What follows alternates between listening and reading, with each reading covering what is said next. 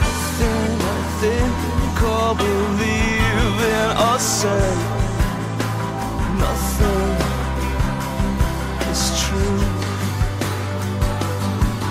It used to be so